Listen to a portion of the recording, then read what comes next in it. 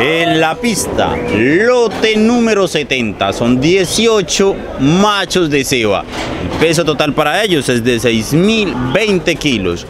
Peso promedio para cada uno es de 334 kilos procedentes de Puerto Nare. Y la base es de 7 mil pesos por kilo, pesados a las 11 y 42 de la mañana. Lote número 70.